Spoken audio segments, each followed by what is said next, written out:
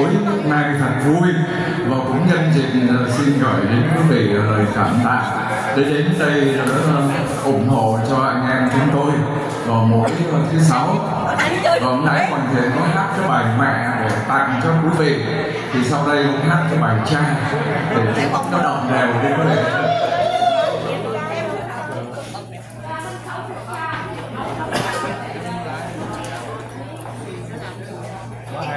dạ cảm ơn được anh